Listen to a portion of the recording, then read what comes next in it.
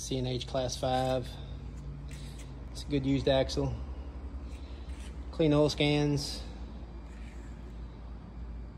on uh, both final drives and differential. Also scoped inside the differential and the final drives. Everything looks good.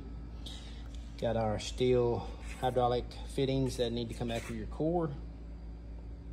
Also these lifting mounts need to come back with your core.